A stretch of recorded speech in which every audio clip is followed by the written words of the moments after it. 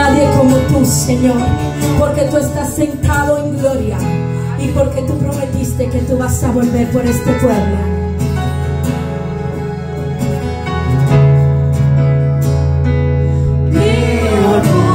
me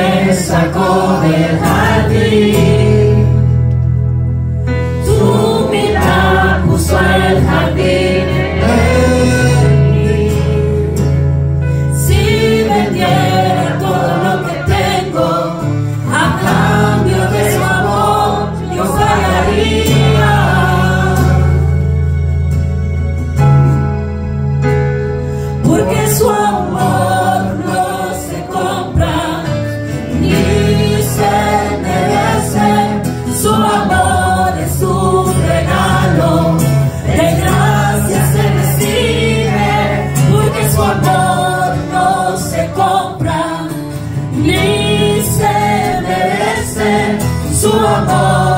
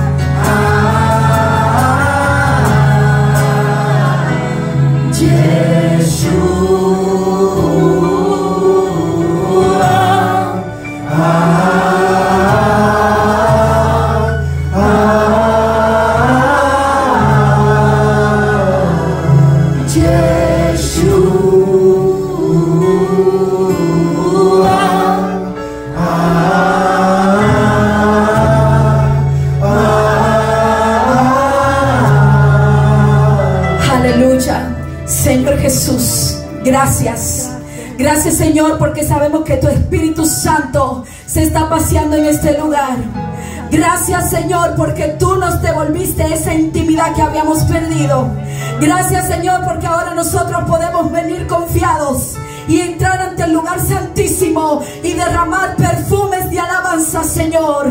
Y podemos depositar en tus manos nuestras cargas Señor. Y tenemos Señor con fe, esperanza y confianza de que tu yugo es fácil y ligera es tu carga. Y podemos venir, Señor, confiados. Que tú nos recibes tal y como somos. Que tú coges este barro y tú lo haces odre nuevo y que tú nos llenas de tu Santo Espíritu y tú nos llenas de dones y de talentos para que podamos dar honra y gloria a tu nombre. Prepara estos corazones, Señor, que han recibido el alimento espiritual para que ahora podamos con corazones abiertos recibir el mensaje que ya tú tienes preparado. Porque no es lo que nosotros podamos decir sino lo que tú ya tienes preparado. Porque tú, Señor, eres perfecto. Porque tú eres bueno, porque tú eres fiel, porque para siempre es tu misericordia, Señor. Y es por eso que vamos a rendir nuestros corazones. Vamos a dejar atrás todo lo que sea de nosotros. Y te decimos, Señor, hoy yo me rindo a ti. Y así como Jesús oró en el jardín, decimos, Señor, aunque sea amarga la copa, que se haga tu voluntad y no la nuestra, Señor. En el nombre de Jesús. Amén y amén. Vamos a darle una cosa que vive y